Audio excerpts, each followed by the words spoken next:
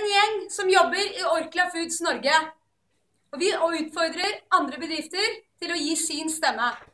Én, to, tre.